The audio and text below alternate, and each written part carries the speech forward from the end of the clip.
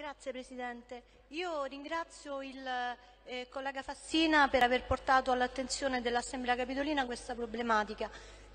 e poiché sono eh, stata sollecitata in qualità di Presidente della Commissione Politiche Sociali sull'analogo problema dal consigliere Figliomeni, anche lui firmatario eh, con me della mozione del collega Fassina,